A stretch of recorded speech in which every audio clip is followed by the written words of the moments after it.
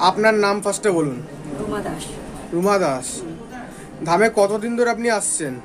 আমি এক মাসে মোটামুটি এটা নিয়ে আমার তিনবার। এক মাসে তিনবার আসছেন। তিনবার এটা নিয়ে। কারণ আমি প্রথমবার যখন এসেছিলাম ভীষণ কঠিন সমস্যা নিয়ে এসেছিলাম। তার দুদিন পরে তিন দিন পর আমি মারাত্মক সমস্যা আরও দেখতে পাই। যখন বাবার কাছে আসি সেই যে সমস্যা এমন সমস্যা ছিল যে বাড়িতে ঢোকাও বন্ধ হয়ে গেছিল সেই জায়গা থেকে আজকে দাঁড়িয়ে আমি অনেকটাই উপকৃত। তো আপনি ধান থেকে ফল কতদিনের মধ্যে পেয়েছেন? আমি পেয়েছি পনেরো কুড়ি দিনের মধ্যে। ধামে এসে পনেরো কুড়ি দিনের মধ্যে ফল পেয়েছেন। ধামে কি প্রথমবার দেখানো নাকি এর আগে কোথাও দেখিয়েছিলেন?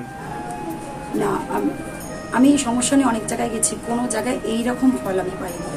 এরকম পাননি? না এই ধামে এসে কুড়ি দিনের মধ্যে পেয়ে গেছেন। হ্যাঁ, তো আপনার সমস্যাটা যদি ধামের ভক্তদের একটু বলেন কি ছিল আর কি উপকার হয়েছে ধাম থেকে? আমার সমস্যা ছিল আমি যখন প্রথম আসি আমি তো জানতাম না কেউ একজন কিছু ক্ষতি করেছিল। আর মানে ব্যক্তিগত কিছু সমস্যা ছিল আমার হাজবেন্ডকে নিয়ে বা আচ্ছা। এবং আমার বাড়িটারও সমস্যা ছিল। সেখান থেকে বাবা আমাকে অনেকটাই উপকৃত করেছেন এবং যা বলেছেন প্রত্যেকটা কথা মিলে গেছে। আর সব থেকে বড় কথা হচ্ছে নাম জপ। প্রথম আমি ধামের ছবি প্রতিষ্ঠা করি। আমাকে স্বরূপবাবু এবং দিলীপবাবু প্রচুরভাবে হেল্প করেছেন এবং গৌরববাবু। আর শর্মিষ্ঠাদি তো রয়েইছেন। এরা আমাকে এতটাই হেল্প করেছেন এবং ধামের ছবি প্রথম আমি প্রতিষ্ঠা করেই আমি ফল পাই। তারপর তো এখানে আসার পর ম্যাজিক ম্যাজিক হয়ে যায় এখানে আসার পর। তো আপনি যে সমস্যাটা ছিল সেটা কি আপনি আগে গুরুদেবকে বলেছেন নাকি গুরুদেব ফার্স্টে আপনাকে বলেছে? আমাকে বাবা নিজেই বলেছেন আপনি বাইরে ধামের বাইরে কাউকে আপনার সমস্যা বলেননি তো। অ্যাপয়েন্টমেন্টটাও বলেননি? না। তো ধামে আপনাকে ফার্স্ট অ্যাপয়েন্টমেন্ট কে দেয়? প্রথম দিয়েছিলেন স্বরূপবাবু। স্বরূপ চ্যাটার্জি দিয়েছিলেন তারপর।